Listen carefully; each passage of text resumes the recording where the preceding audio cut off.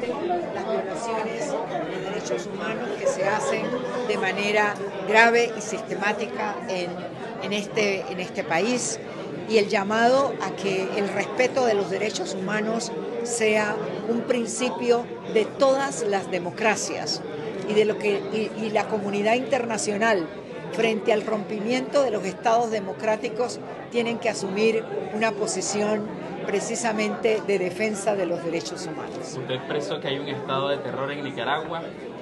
Eh, de, lo que he podido recibir en esta visita de, de, esta jornada de trabajo que hemos desarrollado en, en Miami y en Costa Rica, los testimonios que hemos recibido, eh, las oportunidades de, de, de, hablar con las organizaciones, eh, hay un, un, un, sentido de, terror, de miedo y, los, partidos, los presidentes de los países, las autoridades, no pueden acallar las voces de sus ciudadanos.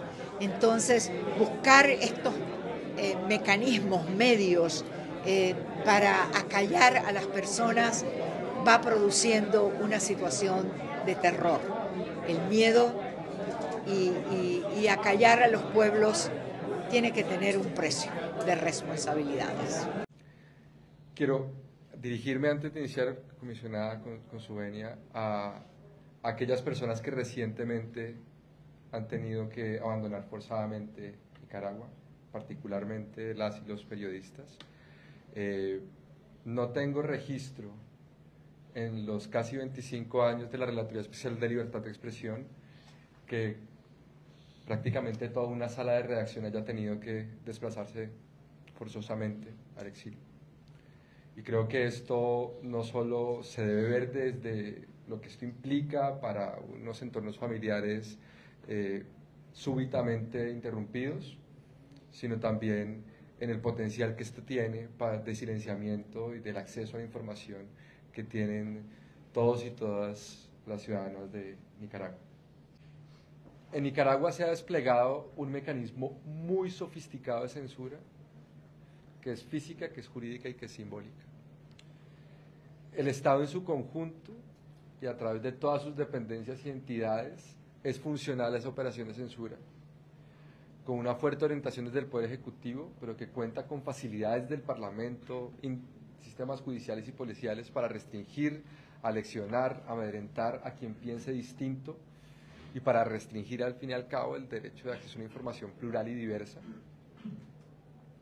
Es un mecanismo de censura que no es esporádico, sino que se mantiene en el tiempo, se intensifica. Estamos justo en unas semanas especialmente difíciles para la libertad, de, para la prensa en, en, en Nicaragua. Eh, y que afecta el derecho a que la sociedad pueda recibir información. Esto ha impactado el acceso a fuentes. Es difícil para la prensa acceder a no solo información oficial, sino a personas que sientan la confianza para poder depositar su opinión, eh, para poder eh, aportar al debate público. Hay un exilio forzado, hay una vida familiar y hay una resiliencia. Y en este sentido, el compromiso también de la Relatoría Especial de Libertad de Expresión de seguir acompañando esta tragedia, que también es una tragedia de información y que debemos naturalmente seguir documentando.